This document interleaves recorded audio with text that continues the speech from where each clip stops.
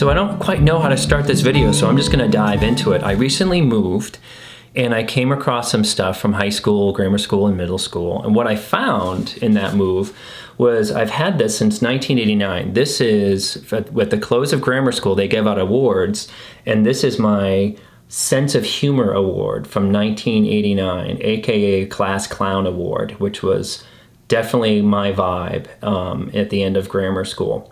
And this award is going to be the focus of this video um, to share a little bit about what my childhood trauma was like. And we're going to be looking at through that story, through the lens of sort of child development, what happens to kids, coping strategies, and eventually sort of healing. So, why this is sort of significant is that, you know, the date is um, there's a funny, ironic thing here. Is the date of June? What was it? June thirteenth, nineteen eighty nine, is when I got this baby. Um, it happened. I looked it up, and it happened to be a Tuesday. And what's ironic about that is often when clients tell me their like daily chaos story of what it was like growing up in a household of like you know dad punched a hole in the wall on sunday everybody was fine and grandma came over and we put a picture over it to hide it and blah blah blah blah and then there was just some huge drama on a Tuesday, I just kind of say, well, it's just a Tuesday. So, a little side note, just ironic that it had did happen to be on a Tuesday. So, what happened on this day for me was was a graduation of grammar school, sixth grade. There was an award ceremony. Um, my mom was there, I was there, and her best friend, which was a drinking buddy, who was a really sort of a mainstay person in our lives um, from the time that we were sort of really young all the way through sort of high school. Um, and that was mom's best friend. And dad usually didn't go to these things. Dad had narcissistic personality disorder, and he was also sick with cancer which is another whole part to this whole thing. So in this award ceremony, I can't remember if I if we went there as a little family or I was already there at school, but at the end of the day, they had this ceremony in the gymnasium, the same place where you get hit with a red dodgeball and go through all that trauma. Um, and it was in that same sort of gymnasium that there'd be a stage. So like chairs ceremony you know like sort of microphone. And then the, my teacher who i loved mr c um, would be calling kids up. And i honestly didn't think i would be getting an award which was my mindset at the time was kind of i was really trying hard to be the cool kid a little bit of the rebel and a comedian so it was like sort of no big deal. I don't need one of these stinking awards. Um, you know, I wasn't doing well academically. I wasn't good at sports. I wasn't, there was nothing really, and I was desperate to become somebody because I really wasn't getting sort of good love, good care, or good identity at home and all that stuff. So um, that's, that's the main focus of this story is sort of being funny came the way becoming funny is how I survived all that stuff. Um, so and then he actually called my name and then he called my name for the sense of humor award which is a nice way to say kind of class clown award and i was both it was a weird combination of feelings so i go up there and um, I'm a weird combination of embarrassment and pride of my, proud of myself because it was really like um, being funny really worked for me and being a little bit of a pain in the ass in the classroom or being a little bit provocative. I wasn't a bad kid. I was just a really one of those kids. If you're a teacher, um, you would probably get this. You knowing one of those kids that does a lot of attention seeking and that was me. And I would do a lot of attention seeking by being contradictory or being funny or being whatever. And he called me up, and you know he was really, uh, really loved this teacher. He's really sweet. He said something like, you know, did you hear about the one, blah blah blah. And I got my award, and I went down, and then I went back to sit with my mom, and she was like furious. She had that like I'm gonna kill you kind of look in her eye. You know, you know, a lot of you got to identify with like the stink eye or like the gritting through teeth kind of a thing and it went from like elation to you know um, to her being furious at me. And i'm going to try to explain my mom through this whole video which she, she's kind of an enigma like in a way that on a monday you know she would have thought i was like the bee's knees for getting an award like that. But on a tuesday because she was either hungover or hated being there or she felt like she was embarrassed which i think is what it was um, she was enraged and she didn't make a scene in there. I just remember she just like we're leaving, you know, and then her and the friend and me um, I knew that, that I was in trouble, and it was just like, we're leaving now. So we got there late and we left early. So then, as we're in the parking lot, and I remember this in really great detail because I remember the school. Uh,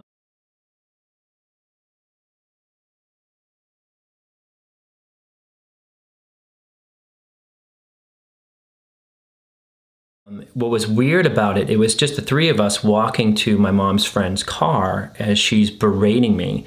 I can't believe you did this to me. How could I didn't, you know, like you're, you're, it's almost like she was saying that I was kind of an F up and like I really embarrassed her and everybody else was getting better awards and like how embarrassing that I got that the class clown award.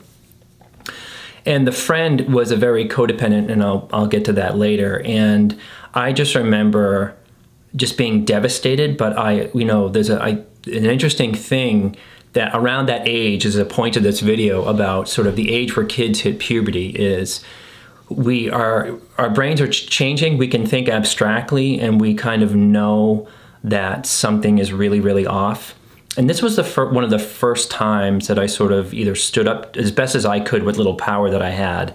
I stood up to my mom and I just walked away from her it was like, get in the car. I can't believe you did this. And I'm like, probably looking at my shoes, just sort of clenched fist and just like, you know, huge feelings going through me. And I just walked away from her. And that really ticked her off. And then the friend is trying to calm her down and whatever.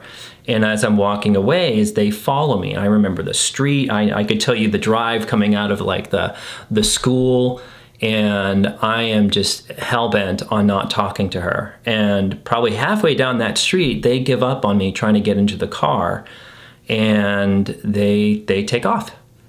And this was sort of I decided to run away. And from that point is you know it was I remember the the weather was started to kind of like drizzle and rain. So the best that I could do was I kind of went by home and there was like a convenience store, but there was some like some uh, train tracks that my friends and I we would just you know these are abandoned train tracks, so it was pretty pretty safe, and it was like one of our kind of playgrounds was this train track that would go by a marsh, and like we would kind of like chisel through this like slate rock kind of a thing down down the tracks and stuff. So that's where I hung out for probably um, you know you know June 13th 1989 probably from like something like 3 p.m. till about sort of 6 and it started to get like this cold like sort of like late spring kind of like you know drizzle going on. And i remember i'm wearing a polo shirt um, and white pants. I don't know why. Like white pants in the 80s right? There was like inexplicable pockets everywhere. Um, and i'm sitting on these railroad tracks and i you know it's just like i realized like i got my pants dirty. But my thoughts were just like i i didn't want to go home and I was really contemplating like how can I keep this going? How can I really run away? And I think for most kids in that position, some kids are have a lot more sort of stamina than I did after the 3 hours as I was kind of done, but I think kids in that position they realize that they don't really have a lot of options. It's too embarrassing to go to a friend's house. Um, you don't really you know what i mean? Like i could have gone into the city like i knew how to do that at that point but it's just like and then from where you know? So it's you know started to kind of get dark and so i just decided to kind of put my tail between my legs and kind of go home. And um, i was just you know i think i could only imagine what my thoughts were really like. I don't re- actively remember thinking this way. I'm just trying to put the picture to kind of together. So i kind of walk home and um, there's a very telling thing is when when I knew that the friend's car was in front of the house is at, at that age of around tw- yeah 12 12 yeah yeah 12 I already knew that they probably had been drinking heavily because the car was still there. So already at that point in my life, I really knew how to read the signs of my mother's alcoholism. So I was hoping to just kind of like walk upstairs, go to my room and just kind of hunker down there. And probably by the next day, due to a hangover or whatever, um, my mother probably would have forgotten the whole thing, or it would have been, we would have been fine again. You know, my mother is this enigma of being bubbly and fun and very generous to being hungover and irritable, then to being sort of like a complete sobbing kind of emotional mess that you needed to kind of take care of her. So it was very inconsistent parenting. so when I, you know, got home and I kind of was looking around, is I, you know, I went into sort of like the living room, and my mother and her, the friend was still there, and they had been drinking heavily, and my mother was sobbing uncontrollably, and she had thrown up on the carpet because of drinking heavily within that span of time. And I just remember sitting there at the like the entrance to this living room, and this is a big part of the story is that, um, you know I that wasn't that was you know I probably saw that happen about like once every two weeks with my mother or once once once a month with my she would very much binge drink and I would experience all that and experience the mess of it and the grossness of it and all that stuff. But the the that's not the thing. The thing was is this friend this person who was in our daily lives they he this person kept saying you know oh it's all right yeah, it's all right. Don't worry about it. She's just having a hard time. Don't worry about it. And that had a profound effect on me. And I don't know, I couldn't have named it at the time, but as if this person was saying, nothing to see here. Don't worry about it. It's almost like being gaslit or that that was really about this person's emotions around it. And it's almost like if that person was a client now, you know, and they were telling me that story or something like that, I would be like, what are you doing? what are you doing in this family's life? And what do you, you know what I mean? Like, what is, you know, it's like, I, I think a kid needs something different in that moment, you know? So, being gaslit, not being really told the truth, or making it to be about them, or just really sort of saying your feelings about this, nothing to see here, smoke and mirrors kind of stuff. And probably as I looked at this, you know, in this in this moment, and this was this happened a lot, so it's not like it was anything really new to me. But I just remember this day specifically is a weird combination of really being disgusted. Um, she was sobbing because she knew she did something wrong, and you know, it's like she wanted to sort of. She was just a hot mess, and she was trying to talk to me, and I just again, I kind of turned my back on her because it was just sort of like I didn't, I wasn't going to put myself available to that sort of again after what she did, and I'll explain why. Um, you could probably get why, you know, just it wouldn't be even if there wasn't the award, that would be enough for a kid to get really, really upset at their parents about that. But so that's really what this, and I just remember sort of probably freezing a little bit and then just not knowing, you know, and I just went to my room and that was probably the end of that's really the end of the story. And that was the close of grammar school. And that was sort of the start to a summer where um, the beginnings of sort of the summer before middle school middle school was a whole other bunch of tuesdays within that. After that high school was a whole other array of really hard tuesdays within that as well.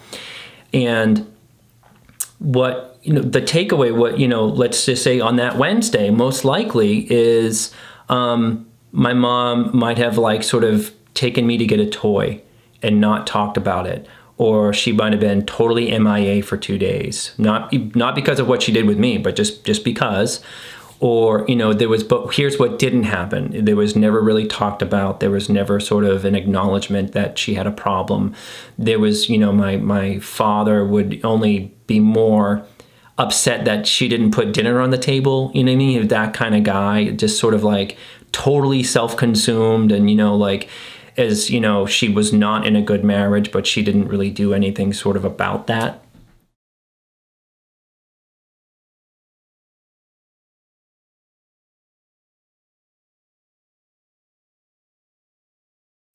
So there was really my point is, is on a Wednesday there's really nobody going over that whole situation with me, and I didn't start talking about that stuff until I got to therapy um, in 1996. So about seven years later, when I was about 19 years old. Um, so let's get into why this award was so important to me, or why. Um, it was half pride and half kind of embarrassment.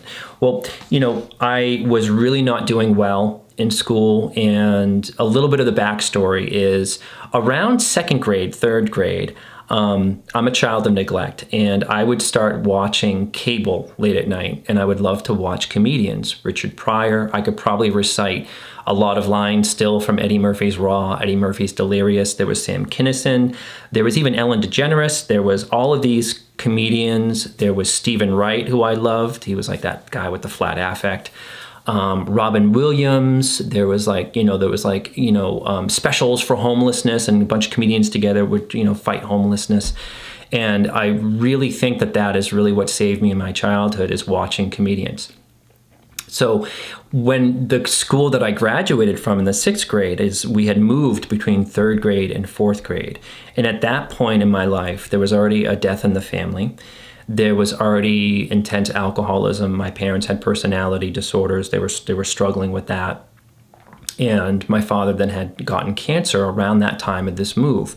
So this this nuclear family was really sort of kind of imploding. And I had found the coping strategy of like laughing or getting attention. And it was just something that is where I think that every kid growing up the way that I grew up finds some way to survive. Could be academics, could be becoming the bad kid, could be, you know, drugs and alcohol, which was late, comes later for me in that part of the story.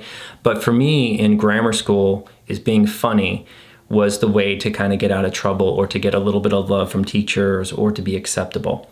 So between third grade, fourth grade, I'm this new kid, and in that fourth grade, in that move, which was a really devastating move for my sibling and I, um, I started, you know, those like Valentine's Day where you like take half the day off, you give, give Valentine's and you do cupcakes and you just like a big sugar fest. um, I started to get up and do comedy acts.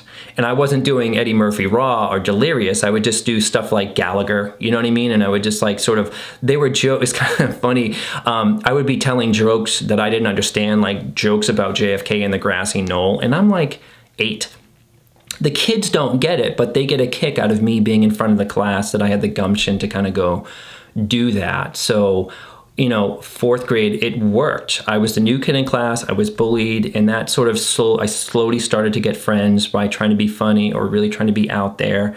Fifth grade, same thing, even more so. You know, had a really good friend, of circle of friends and stuff. Sixth grade, and that's what kept me going. And you know, the teacher and who gave me this award was this really great guy really, really great guy. And what was an, another important part of the story, here's my report card from the same year, um, is as a traumatized kid, is I wanted attention from adults, but I didn't know how to respect them. And I would be a button pusher. I would try to get attention in that way, and it was it, it must have been really weird for the teachers because I think that I was a really good kid. I think I was a likable kid. I was a funny kid, but I was also a pain in the ass. And you know, um, around that time in the sixth grade, by that time, I'll just read sort of like throughout the whole year, reading C's, language arts, C's and B's, spelling, B's, arithmetic, C's, science B's, you know, home study, C's, um, art, I did pretty well in art, you know, um, music, satisfactory, you know, it's like one of those just SS or, you know, needs improvement. Um, this is funny. Physical education ex exhibits cooperative attitude, needs improvement. That's probably still true. I hated sports. Um, but, you know, he wrote this note, you know, in these comments in the, um, in the report card is, you know, Patrick has just recently started working at his ability level. I'm hopeful this positive trend will continue. That was in, the, in November. Patrick's skills are progressively well, but he is not working at his ability. That is something that I would sort of see in every report card. In the old school days, they would just sort of say doesn't apply himself kind of things. Um, I probably needed an IEP, um, but didn't get one, especially in. But, you know, um, he writes here, it's a matter of concentrating on the task at hand when I when Patrick does concentrate, his work is outstanding. I think that that is a very telling sign. Sometimes if you find these stuff, guys, it can be clues into what kind of kid you actually were. This is my point in telling you guys this. What kind of kid you actually were compared to what kind of kid you were told at home. I read that now as a childhood trauma specialist that I was a traumatized kid and I couldn't focus. And my main thing was coping and trying to impress people or trying to make people, you know, laugh. Um, the way that I was raised, homework was not, I didn't get any help with homework. There was really no sort of engagement from the adults, basic, basic things that healthier kids or healthier families kind of work towards.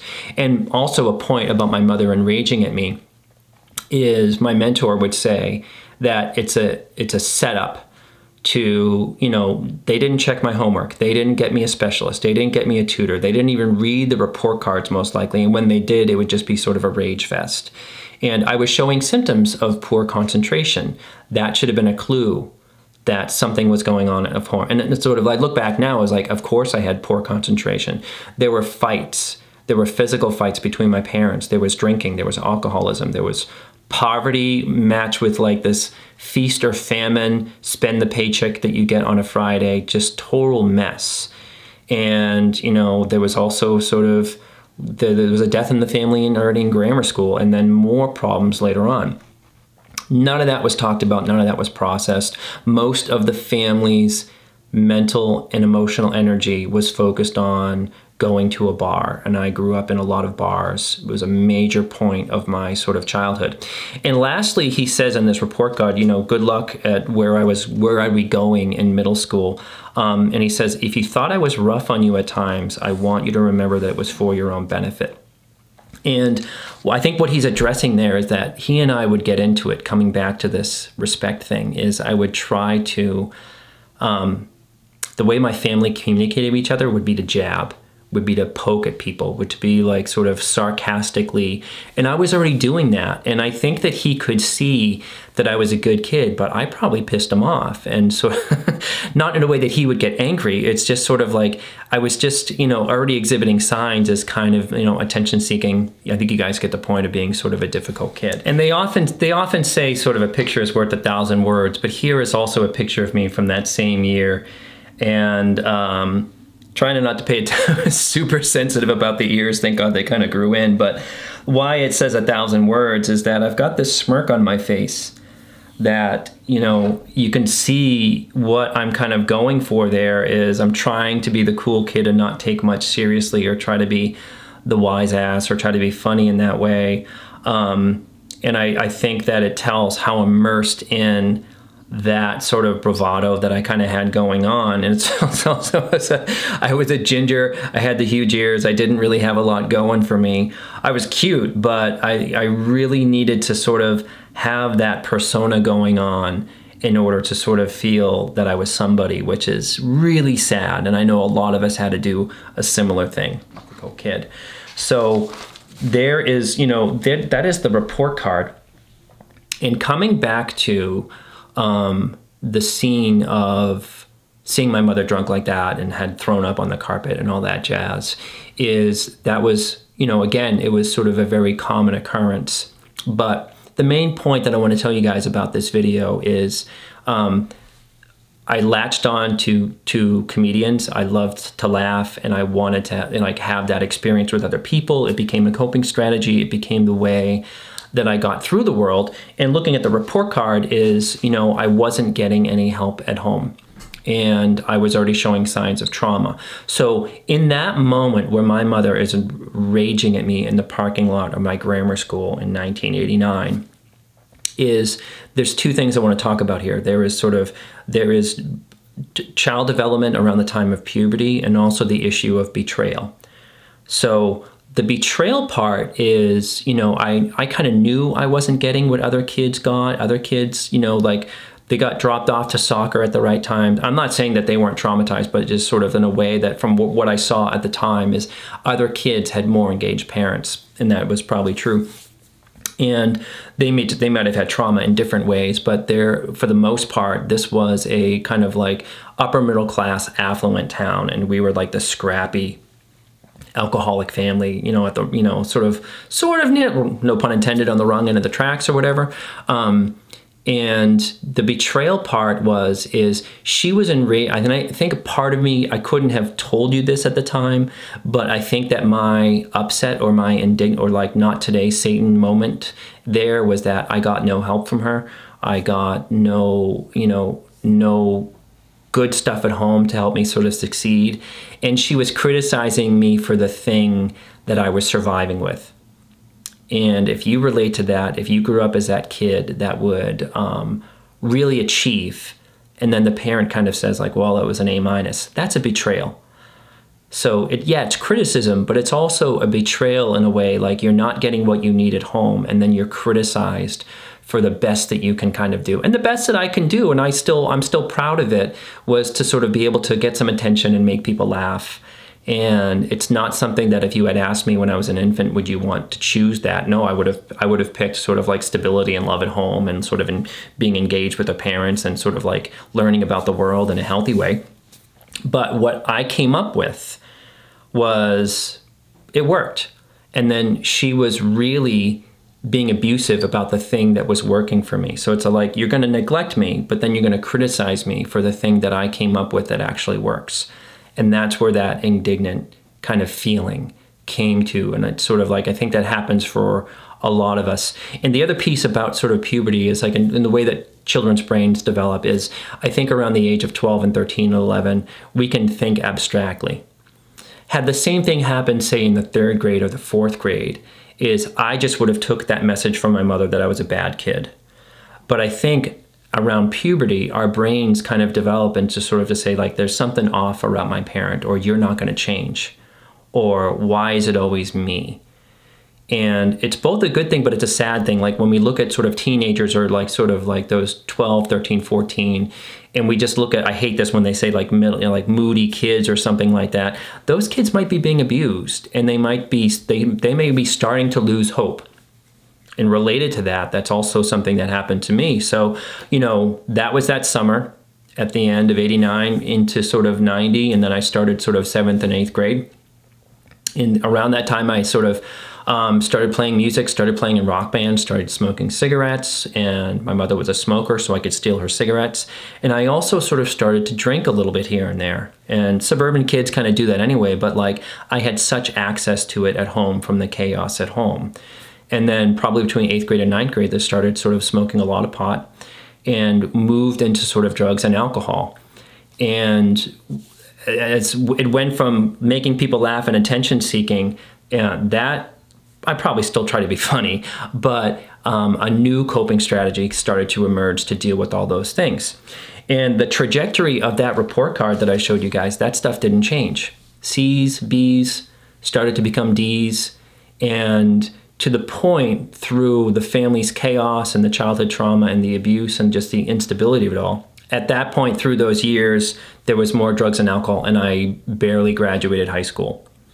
And I remember we had to have a special meeting with the principal to allow me to kind of pass because there were so many absences due to, you know, due to drugs and alcohol and instability and trauma and all kinds of stuff. It's, I barely made it through. And, you know, and again, my identity from the time, from the sixth grade thing on and even earlier, is my family taught me that I was really not going to amount to much. They didn't really believe in me. They, you know, they didn't you know, there was just like the idea as I was going to work with my hands, and there's nothing wrong with working with your hands, but it was just like they were looking at me like I was a lost cause. And dysfunctional families expect children to be amazing without any help, and which is another point to this video. So, at the by the time graduated high school and then my that was sort of the last straw you know my father with who had cancer had passed away shortly about a year after the family imploded even more and you know i was you know i left home and i was just waiting tables and i got to therapy. And i had an amazing therapist who when i got there based upon all the stories that i'm telling you in this is um, you know good jobs academics all that stuff wasn't in the cards for me. My thinking at best would hopefully be sort of be like a rock star or something like that, but it probably wasn't going to happen that way. And I would most likely work menial jobs and not do well in life. And the future wasn't really and that was that was my mindset when I got to therapy sort of at 19. And when I started to tell my story to this woman, this amazing woman, I got really lucky and she knew that I was bright. She probably knew that when like everything that I just recounted, it wasn't that I was dumb it wasn't that I kind of didn't care about these things because it's really that I, I really in that around that time the sixth grade I wanted to be the best in math. I wanted to be better at soccer than I was. I wanted to like sort of have a healthy home life. I wanted to have a good relationship with my parents and my sibling and all that jazz. It's like I think it's what we all want when we see it from afar. And this woman could kind of tell all that. So about you know it's interesting about um, she got me into individual. She got me into sort of a group with her. And then shortly after that, she said, You got to go to college. You can't be waiting tables your whole life. And I remember applying to a state school in Boston, and I remember like writing the essay. It was as if I was applying to be the president. Like this was, I can't believe this is happening. You know, like I was just so keyed up about would they even accept me? You know, but like, oh my God, would you accept me to state school? Um, I just, I'm not trying to make fun of that. I'm just sort of saying my mindset was so like a pauper, or you know what I mean, or like the village idiot, based on where I came from. And then they accepted me. I started going to classes. I was sober. I was going to therapy and I got a 4.0 in my first semester because I could focus, because I was working on myself. And then that 4.0 led to graduating cum laude. And then that led to um, eventually getting into a master's and getting sort of an MSW in social work as a licensed clinical social worker. And here we are today. And it was, it blew my mind. I, you know, it's sort of when I, you know, I, am forever grateful about the therapist that I landed with, the first therapist that I landed with. You know, um, I was with her for many years, and she had that ability to be a parent for me, and was sort of like, "You got to go to school. You can't be waiting tables in a fish restaurant your whole life." It still blows my mind that a therapist could see all that and then get me to go to college and to make those suggestions. And I, you know, it's just forever grateful for that. But so the point to all this, you guys, is imagine, and I'm sure that you will relate to this, is because of our trauma, we develop this identity that isn't good for us. It's just a survival identity that I'm only worthwhile if I'm funny, or life is too painful, so therefore drugs and alcohol are necessary, or I'll never really amount to much. And none of it is really, really true. To flip that script and really look at what kind of family system are you growing up in? What, how did they drop the ball about getting you like basic, basic developmental needs? And it's just sort of beyond, you know, my wildest dreams about where that all sort of shifted and where, where, you know, I have a life that's second to none. Um, and it was because that somebody sort of believed in me. So I hope I did was sort of thorough with this with with this one. I didn't, you know, like I just thought I would sort of talk to you guys and tell you this story, and in a way that I um, hope you guys relate to it. And a couple things about it at this point in my life is, you know, I just see my mom as a really unfortunate sort of sick woman. I don't really carry any bitterness or resentment about it. Um, she's not in my life, and for good reason. But my point to that is that once you once you do enough childhood trauma work, is I don't toss and turn at night thinking about these things. Like this had such a good sort of ending, and in a way that when I recount this, in a way it's not it's not something that still runs me.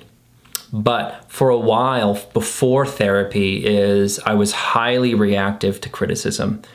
I, and the specific type of criticism, and this might be the most important takeaway of the video, is um, criticism that felt to me that was like kicking me when I'm down, which is a lot like that scene in the parking lot. So there are triggers that really kind of come, and you can't really fully understand those triggers until you fully understand like your own story in that way. And you know, I just happened to remember this one day. I remember a lot. I don't remember everything.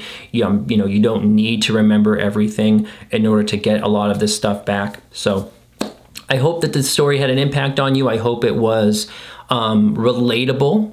And I think that for those of us who are in this work, um, you don't really hear a lot of therapists disclosing about what happened to them. And I find that um, I relate to people so much more and I feel safer with people who have been through similar things. I'm not trying to say that that has to be exclusive, but I'm saying it would be, you know, the, traditional sort of psychotherapy where there's something like the tabula rasa or something like that, the therapist is supposed to be a blank slate, is I think what people feel safe with me is I would sort of say I had a mom like that too, or I might say like, your mom and my mom should go bowling, you know. I think that they would really enjoy each other about being victimy or martyry or stuff like that.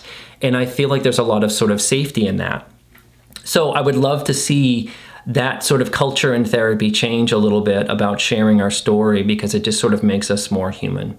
Because um, otherwise, when I also got to therapy, is I, I was so riddled with shame that the therapist was way up here and the client is sort of way down there.